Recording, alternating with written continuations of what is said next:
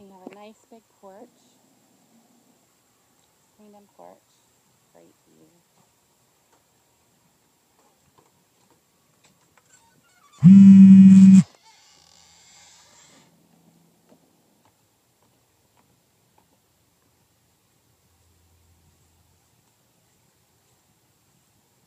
Take it out to the dock.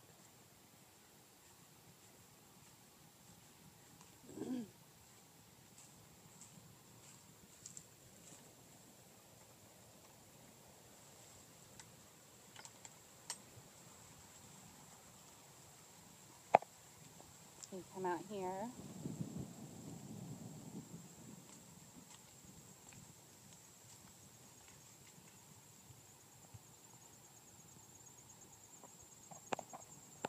So yeah, I don't think you put a boat.